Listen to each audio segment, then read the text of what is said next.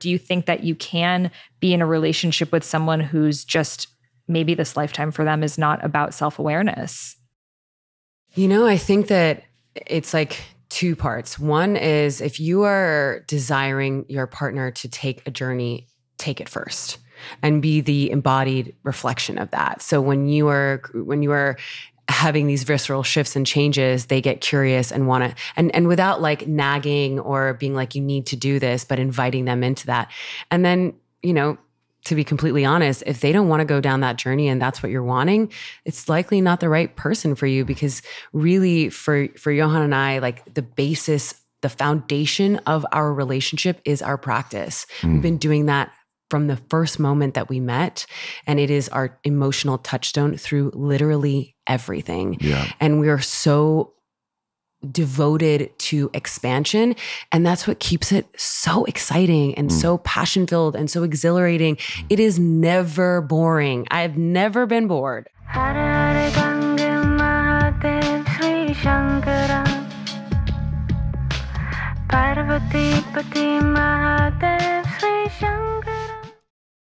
Hi, I'm Sahara Rose, and welcome to the Highest Self Podcast, a place where we discuss what makes you your soul's highest development. This podcast was created seven years ago because I wanted to have deep spiritual conversations that were also grounded, modern, fun, real, relatable, juicy, sexy. And what I love about this podcast is I get to talk with some of my closest friends, my biggest teachers, people who have really inspired me and made a difference in my life, and bring them to you on the podcast. And today's episode is one of those. So, Rachel and Johann have been my dear friends for many years now, and I've gotten to know both of them individually. And they're a married couple who has devoted their life to helping couples have more intimate, juicy, but also really rich and meaningful relationships that value integrity, conversation, and diving into the shadows and depths that most of us don't go into in relationship because we're so afraid of the abandonment that might happen on the other side. So in this conversation, we really go in in their personal story of how their marriage almost ended because of a situation that they'll go into in this episode. I don't want to ruin it for you, but a lot of you are going to relate because I pulled on my Instagram story how many of you guys are experiencing a heartbreak right now. And 70% of you said yes. So I feel there has been a huge shift in the collective in the past few months, especially since November or so of last year, of a lot of couples separating, divorcing, myself included in December. And you know, it's really a renaissance, I believe, of relationships because the old models are not working for us anymore you know, in California, the, the rate of divorce is 70% as well. So, marriage in the way that we've known it before as a construct of you and I together forever without really talking about what that means is failing us. So, how do we, as spiritual people that are constantly evolving and changing and growing and diving deeper into ourselves and wanting to live in full truth and expression and freedom and liberation, but also have a partner to move through these stages of life with? How do we stay in relationship? And that is what today's episode is all about. So we really go into their relationship as an example. And I ask the questions that I have that I know you're going to have as well of how did you navigate through that? How did you know you were meant to stay together? What do you do if your partner is not on a spiritual journey? And what do you see for yourselves in relationship moving forward with all of the shifts that are happening in the world? So, this is one you're definitely going to want to re listen to. And without further ado, let's welcome Rachel and Johann on the Highest Self podcast.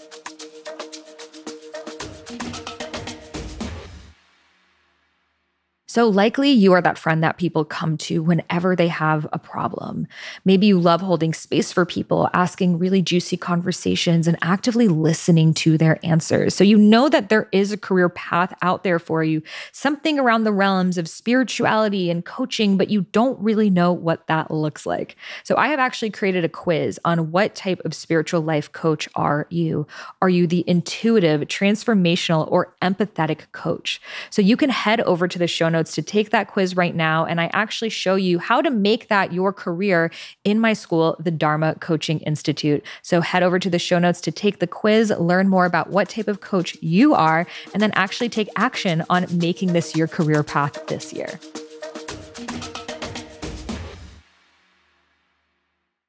Welcome, Rachel and Johann, to the Highest Self podcast. I am so excited to have you here today. We've spent so many hours diving into relationships and these really deep conversations. So, before we get into all of that, I'd love to ask you, Rachel, what makes you your highest self? Uh, the first thing that comes to mind is my willingness to meet the depths of my shadow. Yeah, and that journey. I would say similarly, my uh, willingness to to die a death of what is no longer serving me, mm-hmm. and to be in discovery of what is, and also for me, a big one really was realizing that God is a woman. Mm. You believe God is a woman. now I yeah. feel it after midnight. Yeah. And I know that for a lot of lot of folks out there, that's going to really um, rub you in, a, in an interesting way, you know, and it certainly did me. And it's it's that interesting edge again of of this idea that, you know, God is a white dude with a beard who's angry and broke, and you know, but also loves you, um, and um, and that's such a big thing for folks to really understand that God or the divine is goddess is so much more than what we've thought or you know have have given ourselves opportunity to sort of get curious about. And when we do, the magic is just endless. 100% agreed. And it's interesting you both mentioned shadow and death because those have been the biggest teachers in my path as well, especially the past few months, navigating the divorce portal, which you guys have been incredible support systems through. So, you guys aren't your average couple. You've been together for 10 years, which in the spiritual community, I would say is like 100 years. I think like one year is actually like 10 years when you're both on a growth journey mm-hmm. because you change and you die so much and to keep growing and elevating together. So 10 years together, you're married. And I was reading your post that you feel more intimate than ever before, more connected, sexier than ever before. And those of you who aren't watching on video, I recommend watching this on video because y'all, they're the fucking hottest couple. Like both of them on their own, like 10 out of 10 10, but together it's a whole other level. So please Ooh. go on Spotify and YouTube to just you. witness the magic. and it's so beautiful to see because you guys are willing to go places that no couple I know would go and continue to meet each other there and meet each other there and choose each other again and again. So, can you please share the story of your relationship and how you got to this place? You know, the first thing that comes to mind, and this happened very early on in our relationship, was exactly that. And actually, it was Johann who brought it to the table, which was, you know, I he was like, I don't want a normal relationship. I don't want um, this traditional idea of what relationship or marriage looks like. And he really made the the bold statement of saying, I want to, I want us to choose this every day, and that's the basis of our relationship. And it, I think in that choosing, it's sort of like faced us directly with what's needed in order to choose that boldly over and over again. And the fact that we're both like deeply growth mindset human beings. But it, it it's been a, it's been a wild wild ride. But we're both completely committed and devoted to that in our own path separately. And it's one of the reasons why we get along so well because we both have that at the forefront of our desire for this type of life. Yeah, to what Rachel said, you know, most folks don't realize that we're all running a program. Mm. or we all have a program of what we think a relationship is and isn't and who we are and aren't. And so and it's modeled off of something right? So we're modeling our, our parents or our friends or our culture or religion. And we don't necessarily know or aware of that we can create our own program. Yeah. And from the beginning we you know and again we all we each of us came in with our own program yeah and um, and we were like, why don't we just be in discovery of what what it would look like if we created our own program, mm-hmm. which we have. And you know, for all of our clients and our students, we say the same. It's like, guys, you get to make your own OS. Like mm-hmm. you decide. Mm-hmm. What feels good, how you want to grow, where the boundaries are, how you want to explore all this. When we try to fit into a, a, a box that somebody else has created, or our perspective and or uh, understanding of that box it's so limiting and so our willingness and certainly uh, continued commitment to like i said earlier to die a death often of those beliefs of those patterns because nothing in the universe is static. Yeah.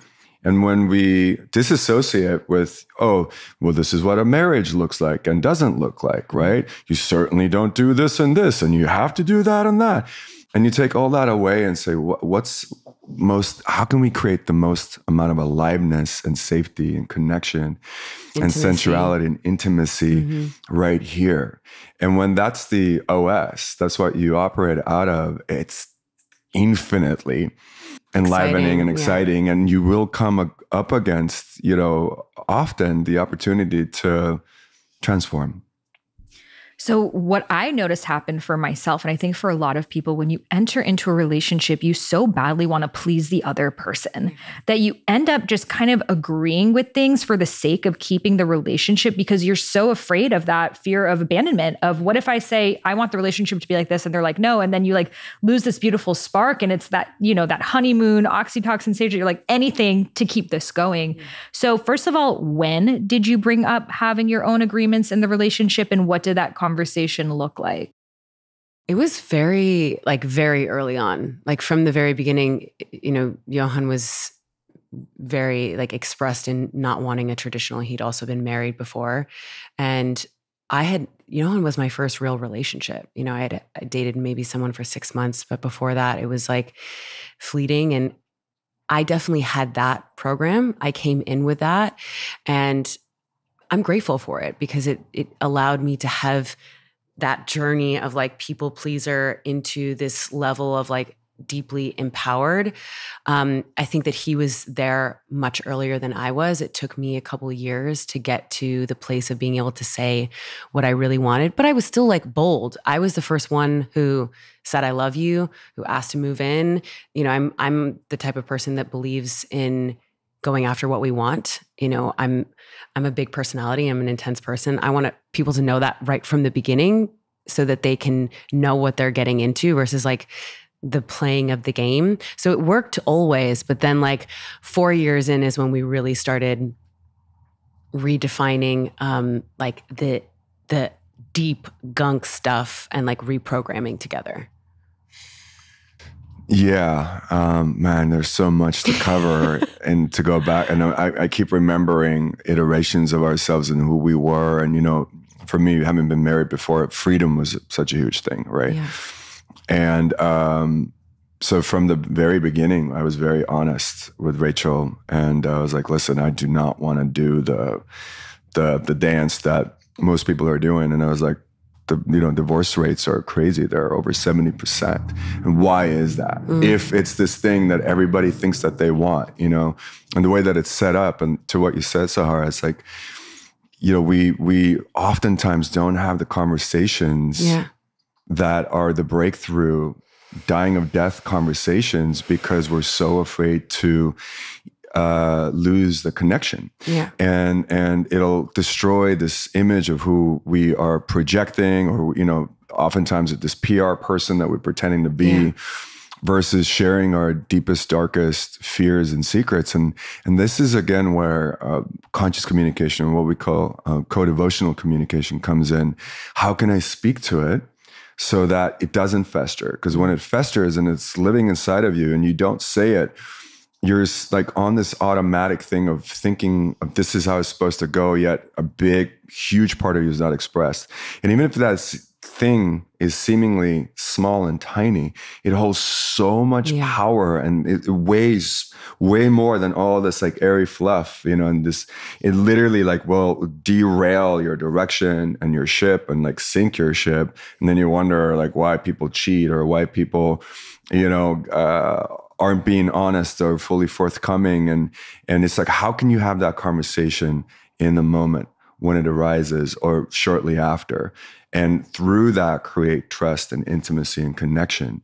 Without that i think it's sadly all doomed to fail. And and for us we didn't have the hard hard conversations till four years in when which was after we were engaged. Yeah. And and oftentimes that's that's usually when it happens yeah. for a lot of our clients at least. Yeah. It's like you commit, and you're like, all right, we're engaged or we're married, and that's when they're it's like ta-da, here's Pandora's all the box stuff. is like, you know, and so it's in a way like by design. Mm. And uh, for us, it took some major, major upheavals falling in love with other people, you know, getting intimate with other people, allowing us just to be fully, fully confused, and through that being fully, fully expressed. Um, and it was in a way like we had the breakup conversation. Yeah, yeah, absolutely. You know, but we decided to to stay together. So I want to go into what happened in this four or five year mark because we've had conversations around a lot of people in our shared community, spiritual community. I think globally are separating, divorcing, breaking up right now. And, you know, they say oftentimes in a relationship, the test is if, you know, one or both people fall in love or, you know, with someone else and infidelity is a is a huge uh, I don't I issue, but also I'm like questioning monogamy and I'm questioning mm. marriage and I'm questioning these these constructs as well. So I'm curious if you guys would like to share a little bit about the situation and the new agreements that you created as a result of it. Yeah, it was, you know, Johann went away to shoot a movie and fell in love with his co star. And, you know, sort of me being the scorpionic uh, human that I am, like now I, I, know what a pivotal role I played in that because that gave me the permission to also then therefore open up and have my own experience with um, another married couple. And it was just this this massive explosion into um, like what was in the underbelly the entire time. And I think that we we stuck through it in such a like when I think back on how we navigated that, I'm like so in awe of, how we did it because it was so devastating, especially because we had just gotten engaged, um, and especially because boundaries and agreements were broken. You know, there were moments when both of us did that, and it's almost like we needed to to do that in order to shake up our entire world our known universe and and therefore speak to what was shook up. And i think even more so the thing i i continuously get interested with is like is why? Why did we do that? What what, what was the impetus behind it? And that i get so curious about and that just led us into like this this depth of conversation how we weren't feeling met into exactly what you just said like playing these roles of just trying to please each other mm. and trying to keep in the sweet pocket of like i'm going to do anything i can to to stay connected and for both of us to feel what it was like to not be connected.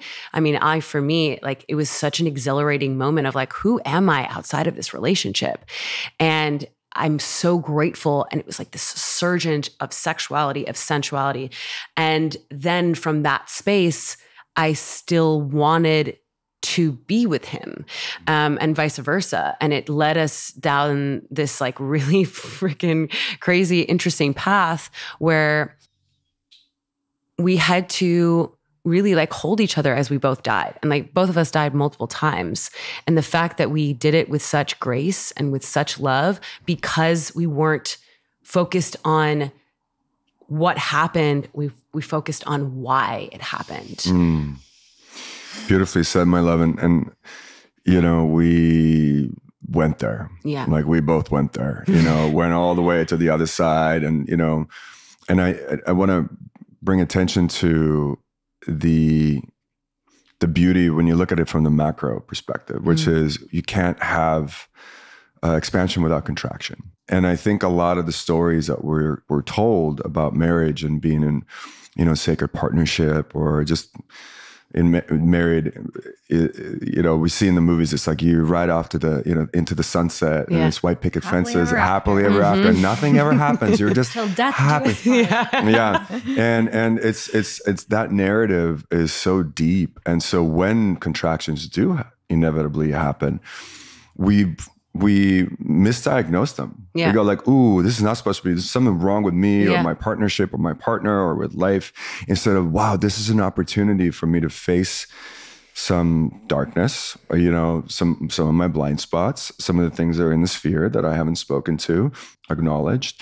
And when we change the narrative, the perspective on yeah. it, it becomes this empowering experience. And again, we didn't know any of, of this when we went through it. Yeah and so I really like want to honor us for still being able to make it through it. Yes. But that's what got us really curious about how could we do it because we knew it's going to happen again. Right? Mm. Contraction will yeah will inevitably appear. Yeah. And so how can we go about it with more grace? And that's what's gotten us really interested in the science of that and learning to to welcome the contraction, Mm-hmm. to celebrate the contraction, even in the midst of the craziest of the contractions, to infuse in breath and awareness and mm. gratitude, knowing that this will lead us into the most beautiful expansion we couldn't even dream of before. You know, and also the awareness too that like I believe that if one person in a partnership is feeling contracted, the other one is is as well. And so mm. it's like bringing in, you know, perhaps Johann's story at that time was I feel unsatisfied. I was also unsatisfied, mm. right? And so that is it's like really asking us to get honest because oftentimes in our society we we want to put ourselves in a disempowered state or a victim state like this happened to me but we are in partnership we're playing this dance and when we can really take that it doesn't mean everyone has to stay together that's not it's just it's knowing that you are playing your part and that's so much more empowering in that to decide like oh that if i can create that then i can create something different Mm. And we're constantly initiating each other, Yeah. you know, into hopefully further and further iterations of, of opening and discovery. And um, and to what Rachel said, you know, our our philosophy throughout it all was if we're not meant to be together, uh, then this we're so grateful that we chose each other for this initiation yeah into better versions of ourselves and really res- respecting each other and honoring each other for having the willingness and having the courage to speak our deepest darkest like Yeah. most scary truths to each other and then when you when you do that the freedom that follows the attraction that follows the connection the passion that follows is insane Mhm. all the aliveness that you thought you needed to look for outside of the relationship is all of a sudden in the relationship yeah because you've said that un, unspeakable crazy thing. You know and for you know if we want to get more specific you know for me specifically at the time in the beginning was like i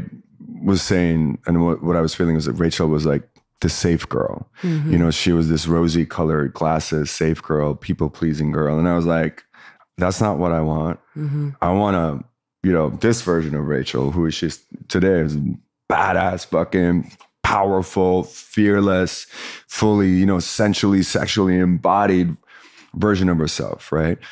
And in order to get there, the the rupture was necessary, and for me to become a trustable man, yeah.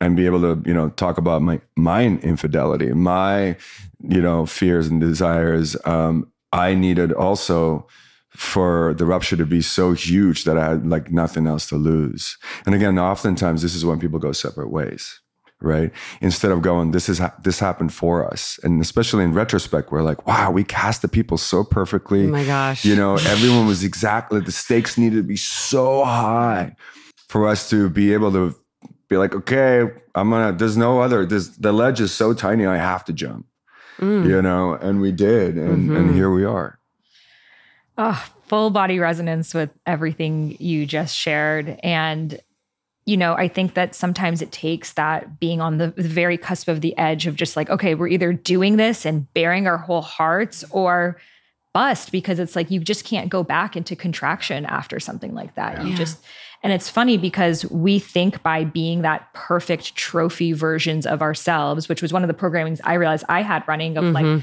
because my dad was very narcissistic. So I learned how to appeal to narcissistic men and be like the perfect girl, Yeah. perfect wife, perfect everything. But then you're not, at, you think you're going to get more intimacy that way, but you're actually con- re- uh, like releasing yourself from that. It's from saying the scary thing that you're either going to like lean all the way in together or it's like, okay, this truth is something that I can't be with. And at least you're honest with it. Yeah. So, what made you guys choose to stay together? What was that decision making process like? Because a lot of people, that's that's the big question. yeah. I, want, to speak to that too. I want to before we go into it is this was also not like uh, uh, like wow we choose each other now. It, it was a oh long my gosh it was process. so long. So it i was just want to reiterate, you know, folks that are listening, you're like, oh, you just do this, and then it's like, it, it's all fixed and, and it's all done. No, this is like years in the making Yeah. of, of choosing each other Yeah. and making sure that this is what we actually want to do. yeah You know, you know, and and also you know like the skill set we had then is definitely not what we have now. And I really want to honor both of us because even in the midst of that, we handled it so beautifully. And, and that's part of like our design. We've never been you know, we've never called each other names. We've never yelled at each other. That's never. It's n- neither. You've yelled at me a couple of times. I have. I've yelled at mm-hmm. him like a handful of times when it was necessary. He's never yelled at me in 10 years. Like, so we handled it so well. And in the midst of it, we held each other mm-hmm. while like he flailed and was like, I want to be with this other woman. I want to be with both of you. And I was like, I'm here for all of it. And then when I flailed and was in love with this, you know, other person, he was like, I'm here for it. And so it was it was like so beautiful to experience the depth at which oh it makes me so emotional like because we're both seekers and we are on the paths that, that we're that we're chosen to be on even in the devastation we we still wanted to be there for each other and like i re- i'll remember this very specific moment when we were on the couch and i was like laying in his arms and i was so angry at him. I was so angry. And at the same time, there was like this visceral feeling in me that I was home.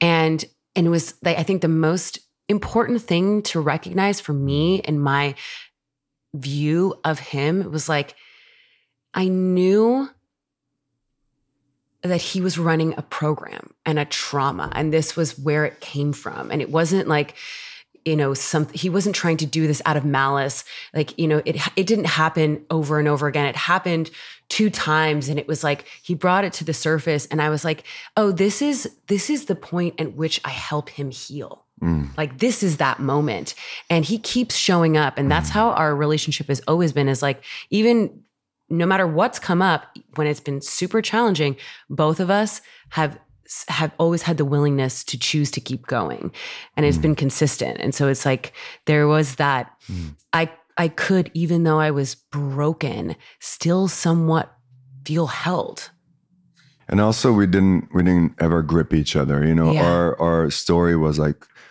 if there's another person that is more right for you than i am i celebrate that and i honor that and i i, I will set you free yeah. right so there wasn't this thing of of even though we we you know at the time like Rachel still wanted to explore an open container, I felt unsafe. I, I asked to close the container to be monogamous, um, and um, even though you know I would say that in some ways the the emotional container wasn't closed for some years because she still felt like she needed that as a backup plan as a safety plan in some mm-hmm, ways mm-hmm. Um, i knew that that was part of my uh, opportunity to hold her to make her feel safe. Yeah. That I actually do choose her. Yeah. And that, um, you know, and, and if I wasn't that guy for her, then I would would have celebrated releasing you back into the wild, you know, because we love each other so much. And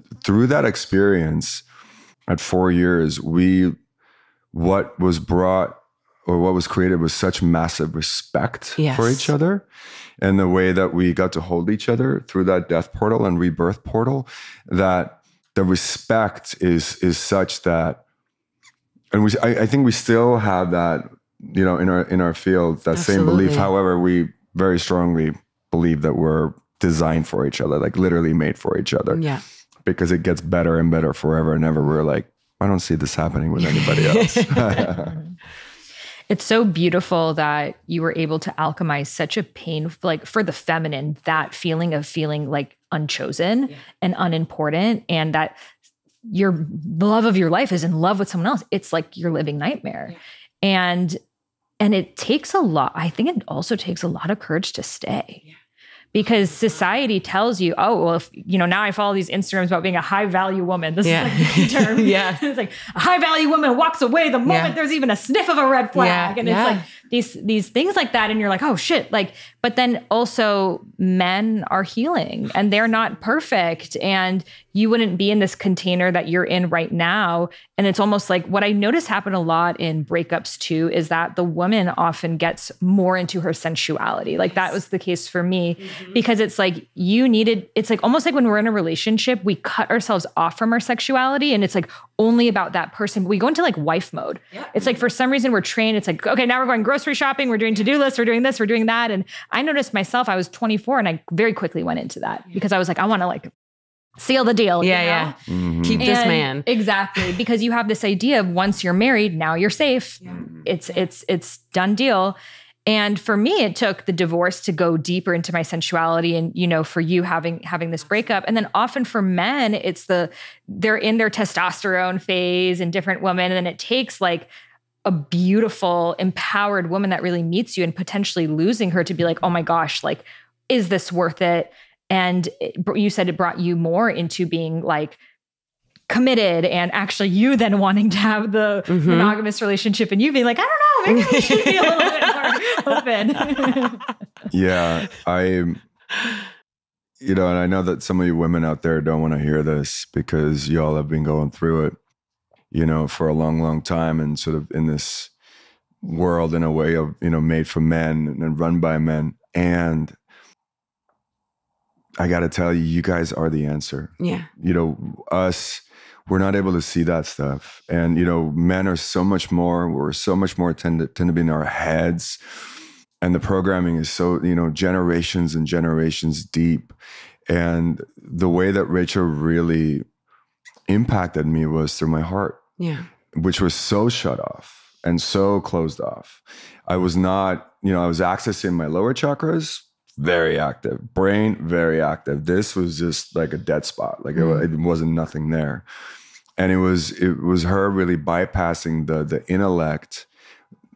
Uh, not I wouldn't say bypassing, but not not using the intellect as a way to sort of handle the things that came up or really speak from her heart to my heart Mm. and because of it it you know love is i believe what everything is made out of Mhm. so it's it's the pathway th- there's no you can't block love Yeah. and so it it it it penetrates so deeply and her love uh, is so powerful and that's what really got me to to feel and to open and to understand and activate myself to a, a potential that i didn't even know was possible Yeah. truly i had no clue so for you ladies out there listening even though it might be difficult especially when you feel you've been wronged you know by the, the masculine please please if you can drop into your hearts and just do your best to love those dudes and be compassionate that doesn't mean you don't have boundaries that doesn't mean No, it means you're- do have boundaries. Yeah, very and that's clear what's actually being asked for is like Yeah. we're we need to switch the roles. And I really, to what Johann is expressing, I believe that we are the leaders and we Mm. lead with love and we lead with deep, profound, embodied love. And that's what this world is seeking. That's what the men are seeking. Yeah. I totally agree with you. Like that's what I knew in that moment. I viscerally could feel it. I was like, he he from a little boy that's what this is, moment is you don't trust the feminine Mm. and you're acting out because you don't believe that i actually care about you and you don't want to open up your heart and let my love in because if you do you feel like you are going to die and everything is going to end And the belief I also had was I will be manipulated, yeah. I will be controlled, Yeah. I will not know myself. You know, I'm I'll lose basically myself. Yeah, I'll lose myself. I'll hand over the keys and I'll become her little bitch, you Yeah. know, which is not at all, by the way, what happened. yeah But that was the fear that I think I'm I certainly I was faced with. And I think a lot of guys are like, you know, if they're talking to their bros or their, you know, fathers or whoever, they're like, yo, you can't, you can't let the woman, you know, she's gonna walk you like a dog, you know, or ride you like a horse, whatever. It's this narrative, this fear we have of It's opening our hearts. yeah And because uh, we don't want to be exposed and vulnerable and and the thing that we're because missing vulnerability is weakness, which is literally the opposite of what it actually is, which is courage. and that shadow feminine Yeah. of manipulation Exactly. Mhm. And that's the thing, you know, I, I heard this the other day and I think it's so poignant, which is, you know, why are we, if we've been hurt, why are we then therefore choosing to hurt?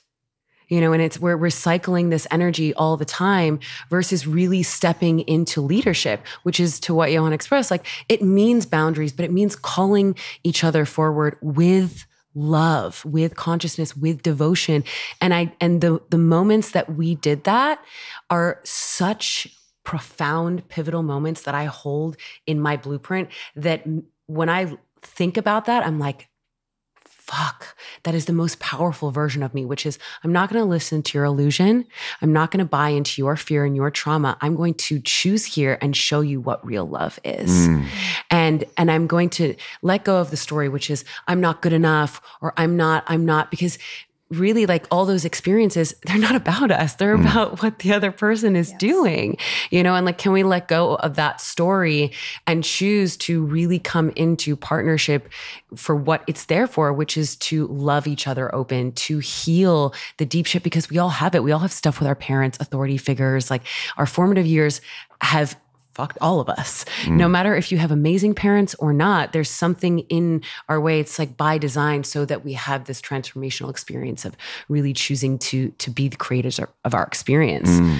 So it's it, it's like we need to do it through love and let go of the story that's keeping us separate because mm. we don't want separation. We want connection. Mm. Johann, were you on a spiritual journey at this time? Like, were you open to healing and therapy and things like that? Yes, um, I, I got on a, on a spiritual journey at a very young age of 14. And uh, also for a long time, it was very much a heady journey. Mm. You know, it was, it was this traditional sort of uh, how I interpreted it, I should say, traditional Eastern philosophy, you know, feelings are kind of stupid. Humanity, you know, th- this whole thing is like just Maya and illusion. And so I was like, oh, I'm just going to be above it. I'm just going to observe it all and, you know, mm-hmm. not give any credence to my feelings. And so I completely, again, by design, cut myself off from my heart and feelings and made up a story that they're dumb. And then, uh, you know, big mistake, uh, obviously beautiful learning. And then at the age of 29, I was in therapy. I was in acting class. And um, I also had a girlfriend finally he was like not putting up with any of my bullshit. So it was like a trifecta. Um, my therapist was a woman, my acting teacher was a woman, uh, and really like the trifecta of that helped me begin to crack the facade and the belief systems. And then by the time Rachel came along, I was certainly way more open to not always needing to be right. It's through my first divorce uh, at 33 where I really saw it was like a full death portal where I saw my life flash in front of my eyes. And my therapist was actually there for it as well, my my best friend Paul. And um, I could really see how I was using these spiritual terms and th- these philosophies as a way to uh, justify blaming and mm-hmm. not taking responsibility. And it was so profound and so big. And so when Rachel came along, I was definitely seeking partnership yeah. and ready to not just do these like shallow little dives into the pool, but really like dive in, you know? And I was for a long time in our beginning part of the relationship, really like looking for drama. I was like, where's the drama at? You know, I was bored. I was like, this is so vanilla. And, and, and, uh, and, and so I found there was always, I always find something wrong. Like, there's always something that I could focus on, you know, that wasn't in me, but rather in her, um, that was off, you know. And through this, I want to fast forward in time now that, you know, what we teach and what we're, we're, te- we're doing our first teacher training in the pyramid breath method. Through this experience was was birth a new type of a practice yeah. that isn't this static practice uh, it's a traditional type of a practice but is very much you know, expressed and alive and tantric and embodied, and, you know, yeah. and and again, to me as a, as a very masculine Eastern European man, that would have been just like, huh, yeah, never. And now to daily be in that embodiment of, of of cultivating the connection between the masculine and the feminine, and then realizing how much bigger it makes both sides, how much more of a man, a masculine man I become, a trustable man I become because of it. And and again, for me, having that realization that divine is feminine and all of the expression that I see around me is the feminine expression of the divine. It, it completely changed my relationship to the feminine. Mm. Because before the feminine was just like the the messy, uh, you know, unpredictable, manipulative. That's the story that I made up. That's the program you were running. Yeah, and, and and, and, now into. like the feminine is this beautiful divine expression of aliveness, mm. and so completely different way of relating to the feminine within myself. Right, all the stories I have around my own feelings and aliveness, and then outside as well. I ask that because a lot of questions I get from people are my partner's not on a spiritual journey. He's not willing to go to therapy. He's not willing, you know, I, I say these terms to him, he won't listen. So, what would you suggest for someone like that who, you know, I think a lot of women we try to initiate, but you can only take someone as far as they want to take themselves. Would you suggest then leaving if that person's not open, or you can be in a relationship with someone who's just maybe this lifetime for them is not about self awareness? You know, I think that it's like two parts. One is if you are desiring your partner to take a journey, take it first and be the embodied reflection of that. So when you are when you are having these visceral shifts and changes, they get curious and want to and and without like nagging or being like you need to do this, but inviting them into that.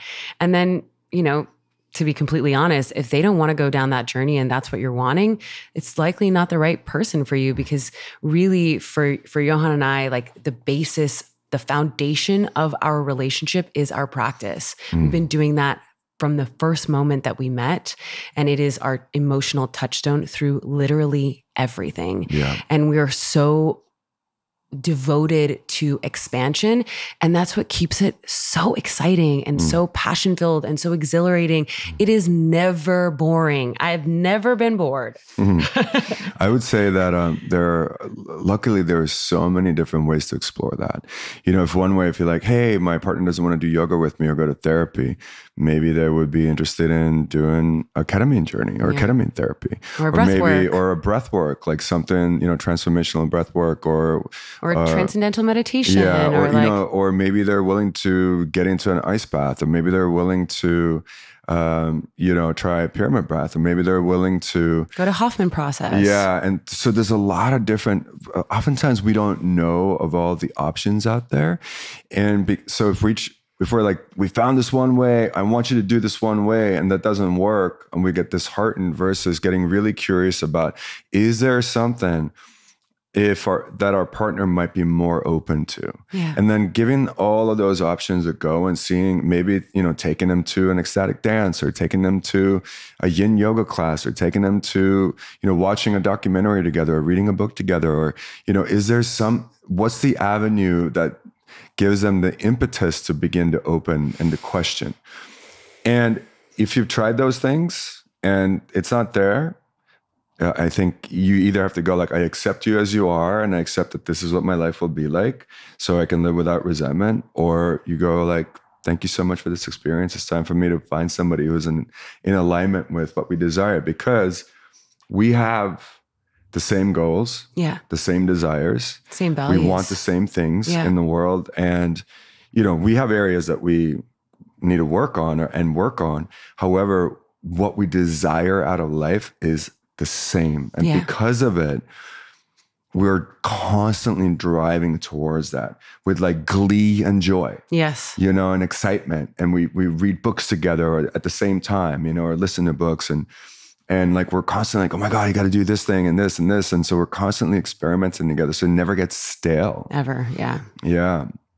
You know, as as you share this, you know, in my in my previous marriage, we did not have the same values. We did not have I would sometimes we would have conversations like, what does your ideal life look like? I'm like, I don't know. I'd live in like Bali or Costa Rica in the jungle with a waterfall and there's community and there's drumming and there's dancing. And like, that's how I see my life. And he's like, I'd love to live in like Ibiza and go to trance clubs every night and, you know, like in the underground house scene. I'm like, that is so not my reality. But in my mind, I'm like, well, I guess we'll have to find a middle ground. That's not your ideal reality. It's not my ideal reality. We'll have to find, you know, maybe it's the north part of Ibiza. Yeah, yes, like yeah. And, you know, I think there's a beauty to compromise. Absolutely. Right? Of like, yeah. it's not always going to be exactly what you want, but I'm, it's almost like God was like, stop playing small mm-hmm. it's like if this is what you really want and this partnership will not allow you to have that then it's like what are you going to choose yes. you know being like in this kind of met relationship and not having your dharma and your soul's fullest expression or to lose this connection and be grateful for it but now have the freedom to live your soul's fullest expression. The fear that shows up in me and i know probably people listening too is like well, what if I never find that person who wants the same, who also wants to do the Bali dancing thing? And, or oftentimes it's like that's so feminine. So only like a really feminine guy would want to do that. I mean if you guys have been to ubud bali no not yet. not the best for dating. I'm sure there's great people there too but so do you believe that there is i'm curious your take on soulmates twin flames. Do you believe there is like this one person out there for you or several people out there for you or it's always just a choice and an inevitable dance of compromise? I think it's it's sort of like a mixture and i i so i love this this inquiry because I think it's so present. And there's this like scarcity mindset that we carry around with dating. Like, I'm going to settle because I'm never going to find anything else. And I think that, you know, for those of us who are listening to this, you're obviously in the work, you're, you're choosing this. And I, for us both, like continuously using your your consciousness to serve you versus enslave you right? There are 8 billion people in the world right? It, the more that you step into who you are the more that you magnetize someone towards that. Now mm. it might not be exactly what you think and i love that you express that because i believe so deeply in compromising and compromising can be such like kind of like a dirty word. You're like i'm never gonna there is that like I'm not compromising myself. Someone's right. just got to meet me, but it's not compromise in a like a lower vibration. It is you are creating something brand new with another human. And the thing that we have found together is otherworldly. Now, I love to ecstatic dance. Johann is not, he's not the most ecstatic dancer, but I get my fix on my own. It's what I teach. You know, I do it with my women. Like there are all these different ways that we can find that really meet ourselves. Do I believe that Johann and I are have done this before in many lifetimes? Absolutely. We've done past life regressions. I've seen it. I felt it. I I love this human so much. And I also believe that if anything were to happen, that we would find other people. Mm. Like I, I believe that because it empowers me.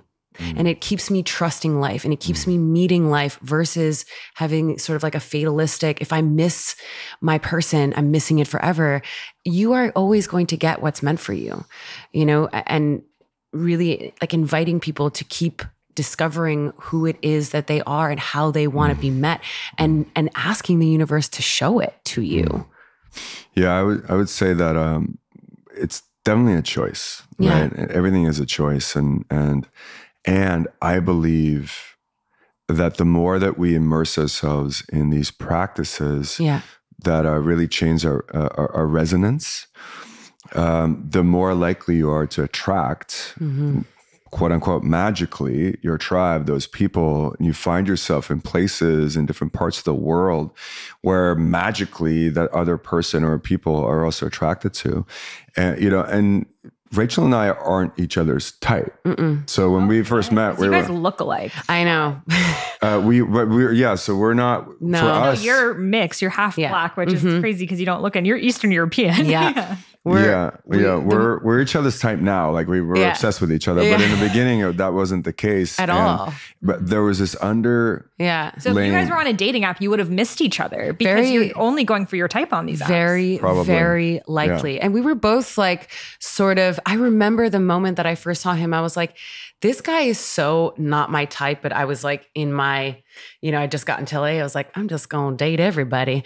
and then when I saw him, did. and he didn't he didn't like, I couldn't get his attention energetically, and I liked it. I was like, mm, this is a hard one. Let me go deeper into this. And it was like, it was energy that was mm. the thing, which so, yeah. yes, I agree with that. We get too yeah. trapped in what we think we want. Mm-hmm yeah, we have these ideas of you know what my partner is going to look like, what they're going to do. Yeah, they're going to be. You know, they have read these books and yeah. done these practices. Yeah. And so you guys didn't write lists or anything. I I am a v- deep advocate of the list, but my list is very different. It's a feeling. How you want to feel with the person versus Mhm. what you're like, oh, I want someone who's who's rich. Cuz a lot of women have that.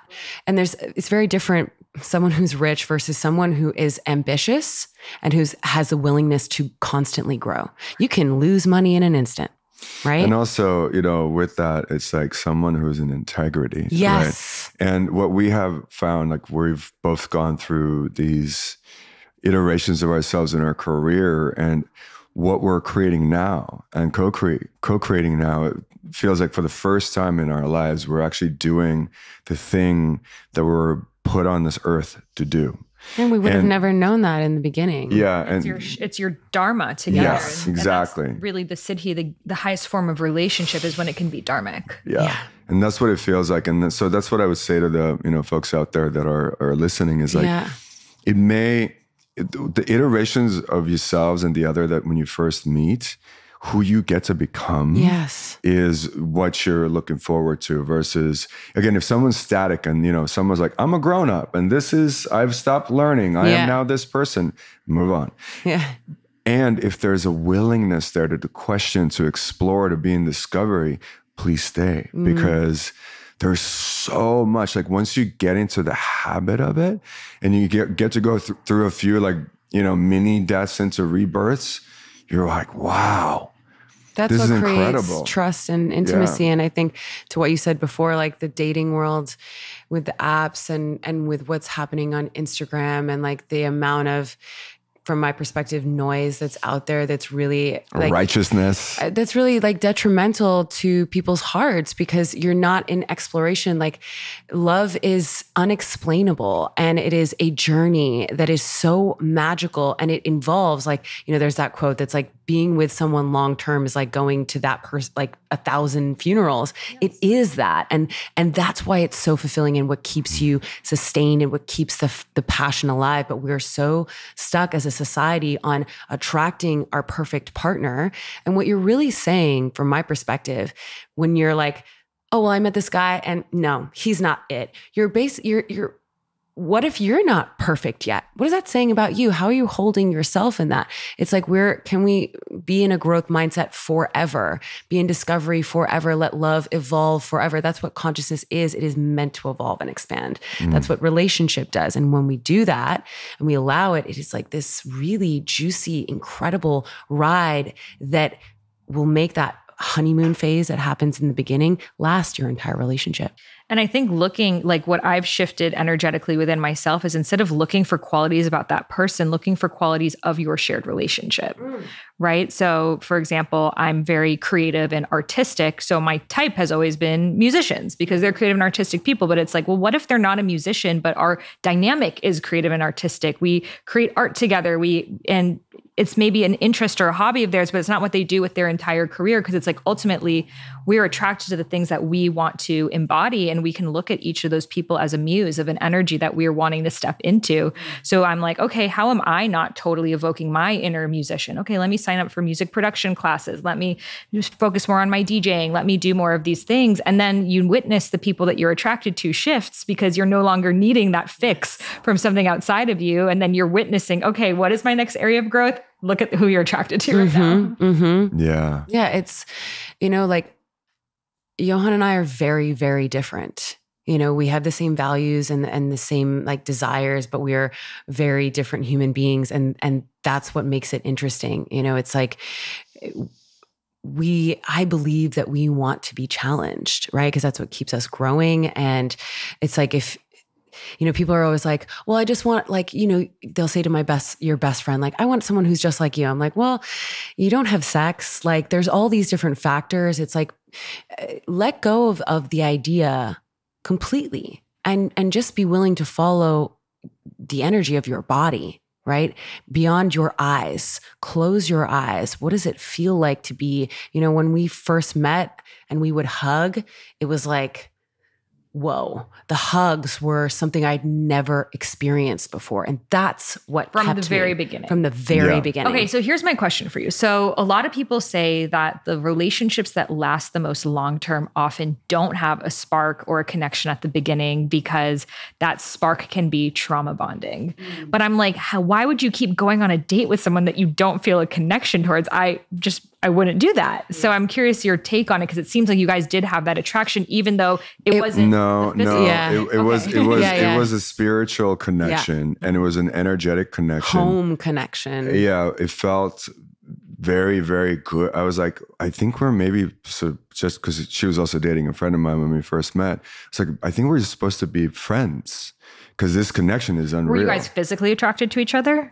I think that like obviously he's attractive. I'm attractive. Like I was like, oh, interesting, but again, not typical. There wasn't this. There was no You trauma weren't like bonding. flirting from the beginning. We were definitely flirting. Yeah, Yeah, we we were, were we were flirty, but uh, you know we're kind of flirty with everybody. Yeah, it's true. So it was more like mm, playing this fun game. and we were there was yeah there was like a, a rapport that was like exciting and exhilarating and he we met each other but it was not um this like chemical chemistry yeah, like like I need to fuck you No. right now. I need to like rip your clothes off. No. Like, yeah you know, and that's something that we actually struggled with for many, Yeah. many years Mhm. So until do you think that feeling of like you meet someone, it's that instant connection, that's trauma bonding? usually a lot of times. and i think that there's an Because I element wrote the first night I met my ex, met my husband. It was like, then I'm like, oh shit. yeah yeah. But then we're, we're used to the movies and things Yeah. like that of like you just when you know you know love at first sight. and i, I I said it on our Yeah, first date you did yeah to my friend when Rachel went to the bathroom. I think I just met my wife. hmm And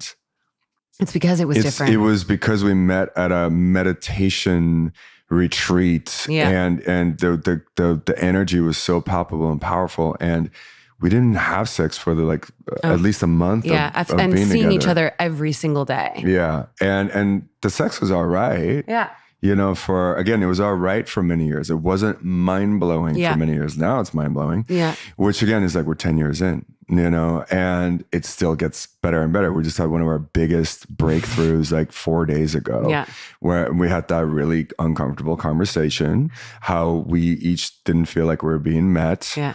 Well, no, because that let's because this is good, and I think this is important in relationship. Is like we had this beautiful conversation around sexuality, and the thing that I said that I think was really pivotal was like, I'm not not satisfied. I am satisfied, and I still want more. And that is a lot of couples grapple with that. that's called not satisfied by the way no, it's not, baby. Don't do that because Well, it's satisfied is satisfied. yeah, exactly. But we can still like it's not like I'm not unha- like we had amazing sex before this and something sparked ooh, but and could we get more? And that I think is really important to continue to have Mhm. that conversation because then it opened up this whole avenue that was like holy smokeroonies and it was amazing and people miss that. It's like you get together, you're like, great, I'm safe, I'm the wife, you're the husband, or whatever it is, whatever Mm. gender you're playing. You're you're like, I'm just gonna chill now. We're in our safe zone. and We it's so easy the to it's so easy to get into a pattern Yeah. you know when you're with someone for a long time you know okay sex looks like this we're gonna you know take Yeah. the clothes off and then this happens and then step two and step. The step things three that get you off, the things that Yeah. get me off, Uh-huh. and then yeah, yeah and then you and you and then go for on to the next task. Exactly. And for a while, that's really fun. And Yeah. then when you do it a hundred times the same way, you're like, uh, Mhm. the next hundred are going to look exactly the same and it's Mhm. going to get less and less exciting. And so what we've discovered is to have those conversations. And, you know, this one also was sparked with us actually, again, beginning to be a little bit more playful Mhm. outside of our container. Mhm. Right. And then, but this time around, like not being confused about any And being it. in complete integrity Yes. and with trust and safety. Yes. And and then exploring and then having that third energy, we're using Esther Perel terms here, uh, to really be enlivening for us. Yeah. And then finding that, uh, you know, oftentimes, even if there that sparks a conversation, like what is lacking or what could could we add in that's not there right now, and that's what happened for us is then having that sex where we were both like, that's the best sex we ever We're had. like, whoa. like just so blown away, you know, and just being like, did that, that just, yeah, that just happened. And um, that was with the third energy. no, after? no, no, no, no, after. What it after after the conversation, Yeah. after we've been in a, like a playful space. And yeah, like a very like sweet, playful, like safe, very Yeah. like a um PG uh experience. well, Um, I would not call that PG, my love. I would say it was PG. P- maybe PG 13. Um, okay, you would let a 13 year old into that room? No. exactly. You're you're making shit up right now, honey. Okay, okay. That was She just has definitely more depth 18, Yeah, 18, exactly. 18, Just 18 plus. Just getting started. Yeah. That was just 18 like that was plus. PG for Rachel. Yeah, yeah. Okay, I like it. Um, so so to say, you know, there's so many opportunities to explore aliveness and really convert the aliveness to be in service to you versus enslave you, like Rachel likes to say, because alive, aliveness is going to keep coming. Mm-hmm. Like it's not going Keep away. coming. Yeah. Mhm, that's right. Mhm. Yeah. I love that. It's inspiring that you're like, yeah, our first few years of sex were, you know, okay, but it was, you know, now we're having the best sex in 10 years in because you always hear the opposite. You always hear the first few years were amazing, but now we're 10 years in. So it just shows that the more communication you have, the more honesty, the more opening you have, the sex gets better. It's Yes. not that these things dilute and make a relationship boring and too real Yes. but it's actually that is what creates like your true fantasy and making it happen rather than like playing a role that neither of you guys like i wonder with these one night stands it's like you guys have never really met or talked like is that really satisfying for either parties I- again unless there's some trauma bonding involved then maybe so i think it's so beautiful that you guys are just like living embodiments of this because you know a lot of people talk about relationships and it's one thing to talk about in theory Yeah. it's another thing to be living it in today's world Yeah. with the social media, with the distractions, with the, you know, confusion of gender roles and just all of the dynamics and conversations. And you guys are really aware of all of them too. I mean, I've spoken to you guys off air for many, many hours about the things, and you guys are both so open, but like also so romantic Mm. and it's beautiful to Thank have you. that that because it's like sometimes you get so open that it's almost like there's no more polarity or or really a relationship anymore right but it's like you guys are like i love you so much and i'm obsessed with you and like have that cuteness and you're like oh but we're just getting started Yes. Oh, yeah. That's what it really feels like. Is that we're just getting We've started. just like, just scratch the surface. yeah, of how amazing it You know- really can be. And by the way, that's our daily prayer. Yeah. Yeah. That is what we speak out loud every single day when we do our gratitude prayer and practice. Is is that and you know I I so powerfully believe that we create our reality Yeah.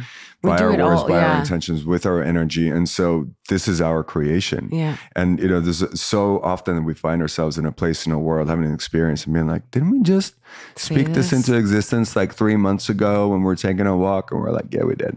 And you know, Yeah. I think that to what you said, I think that's so beautiful because there's this misconception that when you're getting into relationship, if you really like say all the things that there's no more mystery.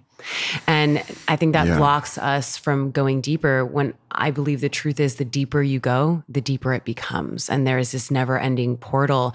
And when you start to continuously reveal your desires, you discover new desires, right? And and how to I think one of the most important things in relationship is creating safe spaces for everything to be said, right? To to express like your worries, your apprehension, your resentment, your mm. desires, your needs, your wants and for that conversation to not like be a blow up, right? But to, for everything to be there because then to what you said, that you sort of switch the roles and it just gets better and better and deeper and deeper because the more intimacy you create, then like, you know, the deeper you get into your erotic themes and your you know through that you're like oh i didn't even know that i desired this but because there's so so much trust and safety you discover something that you would have never discovered so it's like You really stop playing a character. exactly And yeah you really are able to be who you are moment to moment, Moment which is to moment, forever yeah. changing. And so you don't need to hold on to this idea I'm, I'm this mysterious, I'm going to show you a part of me, Yeah. or I'm this dude that's this. And, you know, it's so, again, a static idea of who you think Yeah.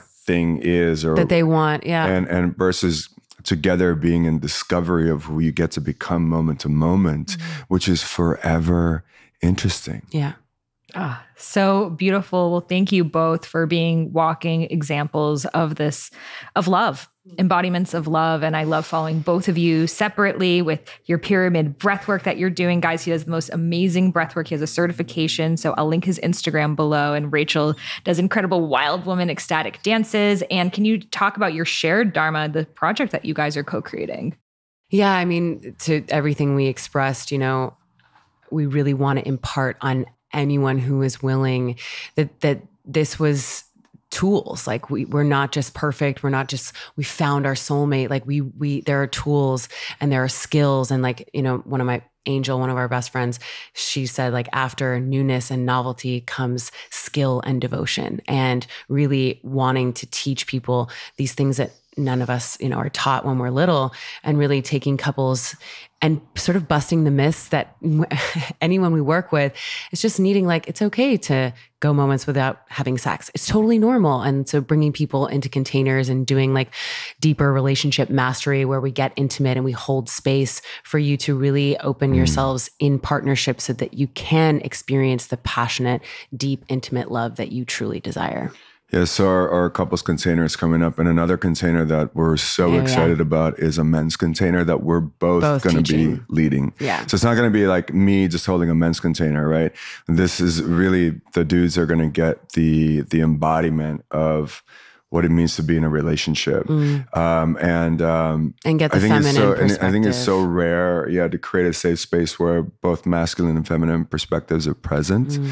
and we're really seeing the value of of that and the, the, the need for that in the world right now because mm-hmm. otherwise it's so polarized and we're in these narratives and stories and and it's it's it's through the togetherness of for, for of us that we have discovered we, I literally was saying that on the way here is like we make each other the best versions yeah. of each other we bring out the best in each other mm. and it's through the process that we've gone through that yeah. we are able to to hold that and live that and it's so beautiful knowing that there are tools and it's a skill set and requires practice because then you're not in the space of waiting and like, oh, I hope I find my Johann and I hope I find my Rachel. But it's like, okay, let me use this time of being single to look at my blind spots and to go inwards and to up level myself, which is going to cause me to be attracted to different people, be in different circles, and show up in different ways. Yes. So it's such a beautiful place to devote yourself, not just when you're single, and then also while you're in partnership too.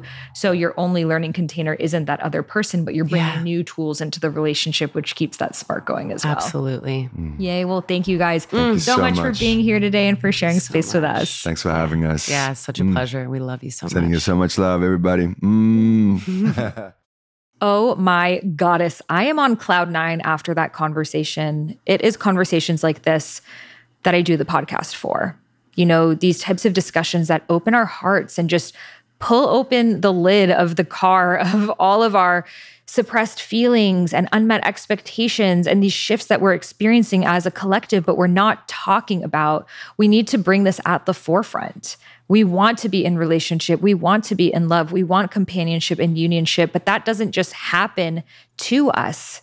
It's something that we actively co create. So I hope you took so much out of that episode. It's definitely one I'm going to listen to again and again because there are so many different angles that if you really take that in and apply it into your life, it is going to change the game for you and not just the game you know it's the it's the life it's the expansion it's what's possible for us through this beautiful unifying energy of love. So thank you so much for tuning in. Share this episode on social media, share it with your friends, share it with those in a marriage and a heartbreak, anywhere in between. And if you loved this episode, I would love for you to leave a review for it on the iTunes store. And as a free gift, I will share with you my womb meditation. So this is a little 8-minute meditation practice that you can do to connect to your womb's energy and actually ask her questions and receive her answers.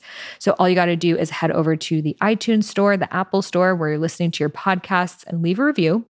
Take a screenshot of that review and email it over to me at Sahara at iamsahararose.com. You can find that email in the show notes and I'll send you back my womb meditation. Thank you so much for tuning in. Be sure to subscribe to receive the next one. And I can't wait to keep the discussion going. Namaste.